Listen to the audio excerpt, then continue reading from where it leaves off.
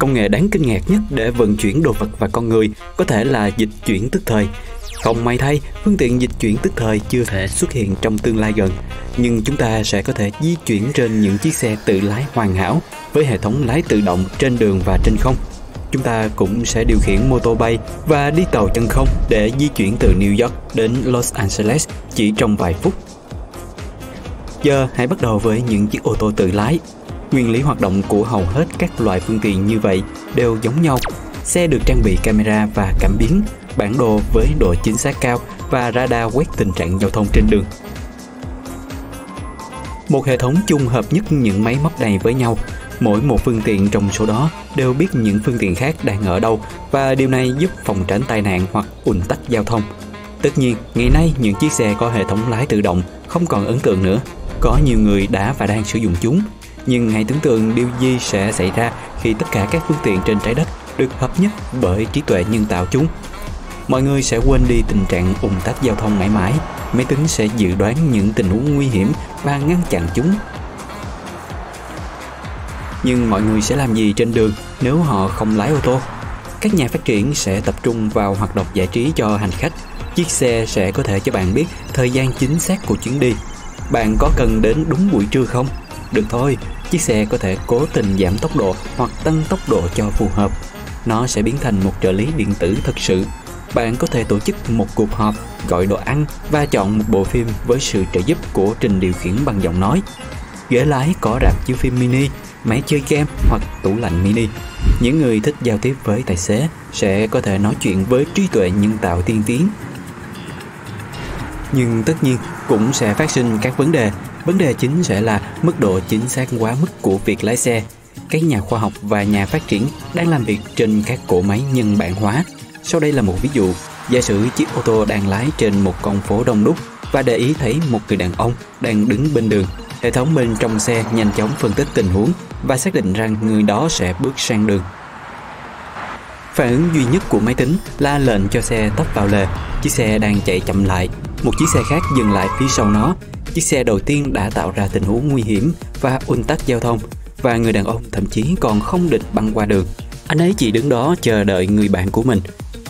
Để giải quyết vấn đề này, các nhà phát triển của một số công ty đã trang bị cho ô tô của họ một giọng nói, tức là họ đã dạy cho chiếc xe tiến hành bấm còi. Trong tình huống khó khăn, chiếc xe như vậy sẽ bấm còi như một người lái xe đang tức giận, nhưng chiếc xe có thể giảm tốc độ nếu có một con chim bay ngang qua không tiếng còi nào có thể cứu bạn trong tình huống này. Một mặt, yếu tố con người là một trong những nguyên nhân chính gây ra tai nạn giao thông. Mặt khác, một người có thể phân tích tình huống tốt hơn nhiều và chọn giải pháp phù hợp hơn so với máy móc. Một chiếc xe với chế độ lái tự động sẽ không dừng lại để cho một anh chàng đi quá gian. Có lẽ anh chàng này đã gặp rắc rối và anh ta cần rời khỏi đó ngay lập tức hoặc có thể anh ta bị rắn cắn và anh ta cần nhanh chóng đến bệnh viện. Máy tính không thể biết điều đó nhưng một người tốt bụng ngồi sau tay lái sẽ dừng lại và đề nghị giúp đỡ anh ấy. Ngay cả khi thế giới thoát khỏi ủng tắc giao thông, mọi người vẫn sẽ phấn đấu vì điều gì đó hơn thế nữa, dù là trên đường hay trên không. Nhiều kỹ sư tin rằng taxi bay và xe buýt tự hành là tương lai của ngành vận tải, nhưng những chuyến bay sử dụng trọng lực sẽ xuất hiện trong tương lai xa. Những cỗ máy như vậy sẽ hoạt động theo nguyên tắc của một chiếc trực thăng. Chúng sẽ là những chiếc trực thăng nhỏ đầy phong cách được trang bị hệ thống lái tự động. Uber và các công ty khác đang đầu tư vào những công nghệ như vậy và có thể bạn sẽ được sớm sử dụng chúng. Giả sử bạn đến muộn một sự kiện nào đó, bạn mở ứng dụng và đặt chiếc trực thăng gần chỗ bạn nhất. Tiếp theo, bạn lên mái nhà, nơi có nhiều máy bay đang đậu. Sau đó, phi công sẽ đưa bạn đến bãi đậu xe của điểm đến và từ đó bạn nhanh chóng đến được vị trí mình cần. Và hãy tưởng tượng điều tương tự nhưng đối với nhiều người cùng một lúc bạn đến một ga xe lửa cụ thể và lên một chiếc xe buýt lớn có cánh. Nó cất cánh và đi một chặng đường dài, đưa bạn và những hành khách khác đến một thành phố khác. Và điều gì sẽ xảy ra nếu những chiếc xe buýt khổng lồ như vậy có thể đưa bạn vào vũ trụ? Không chỉ ô tô mới có cánh quạt mà còn cả xe máy cũng vậy. Đã có những chiếc xe máy bay được thiết kế để chở một hành khách. Bạn đội mũ bảo hiểm và ngồi trên một thiết bị nhỏ vào năm 2025, bạn sẽ có thể mua những chiếc xe máy như vậy với giá 50.000 đô la. Không giống như ô tô bay, xe máy bay không thể cất cánh lên độ cao lớn hoặc đạt đến tốc độ cao. nhưng trong tương lai công nghệ này sẽ phát triển. Taxi bay và ô tô lái tự động chỉ hoạt động trên không hoặc trên những con đường bằng phẳng. Nhưng nếu bạn cần băng qua một khu vực nhiều đồi núi hoặc đầm lầy thì sao? Đối với những khu vực địa hình như vậy, Hyundai đã phát triển chiếc SUV tuyệt vời nhất. Thay vì bánh xe, nó có chân. Phương tiện đi bộ này đi qua những đoạn đường khó và thực hiện điều đó một cách vô cùng dễ dàng. Mỗi chân đều có phần khớp nối và có thể uốn cong. Nó sẽ đưa bạn lên một ngọn đồi cao hoặc thậm chí lên đỉnh núi lửa. Chẳng bao lâu nữa, bạn sẽ không cần phải đi mua sắm vì các cửa hàng sẽ đến với bạn. Toyota đã tạo ra một chiếc xe khác thường mà bạn có thể biến thành một cửa hàng với bất kỳ hàng hóa nào. Quần áo, đồ tạp hóa, đồ chơi, đồ trang sức, bất cứ thứ gì. Những phương tiện như vậy sẽ cải thiện dịch vụ giao hàng và mang lại sự thoải mái hơn cho mọi người trong các chuyến đi. Nhưng công nghệ đáng kinh ngạc nhất sẽ xuất hiện trong tương lai là Hyperloop. Đó là một đoàn tàu trên đệm khí động học. Hãy tưởng tượng một con tàu hình viên nang di chuyển với tốc độ 1.200 km/h bên trong ống chân không. Bên trong nó giống như viên nang tàu vũ trụ, bạn ngồi vào chỗ và thắt dây an toàn. Ngay lúc này, bạn đang tăng tốc đến tốc độ vượt quá tốc độ âm thanh, nhưng bên trong khoang tàu bạn không cảm nhận được tốc độ này. Nếu bạn quan sát đoàn tàu này từ bên cạnh, nó sẽ lướt qua bạn nhanh hơn cả bạn chớp mắt và đó là cách nó hoạt động.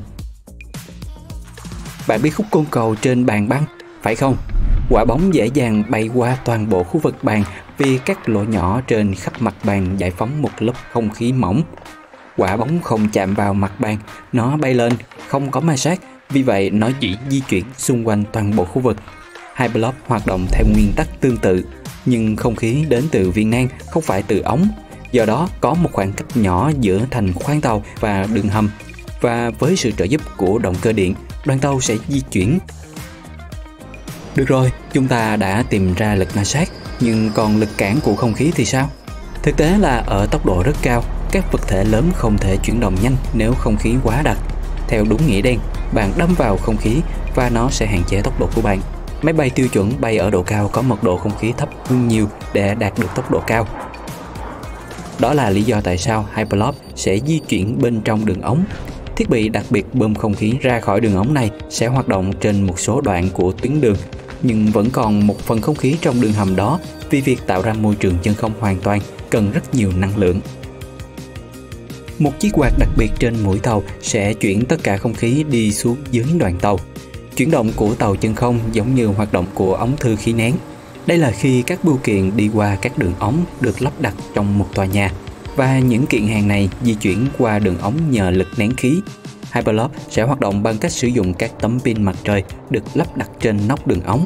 Elon Musk đã nghĩ ra ý tưởng này từ lâu, nhưng việc phát triển nó vấp phải một số khó khăn. Khoảng cách không khí giữa ống và khoang tàu phải luôn giống nhau. Bất kỳ vết nứt, va đập hoặc viên đá nào trên đường ống đều có thể phá hủy toàn bộ cấu trúc. Nếu một trận động đất nhỏ xảy ra ở đâu đó thì sao? Nhưng nếu các kỹ sư phát triển được công nghệ này, chúng ta sẽ chỉ mất vài phút để đi từ Los Angeles đến New York.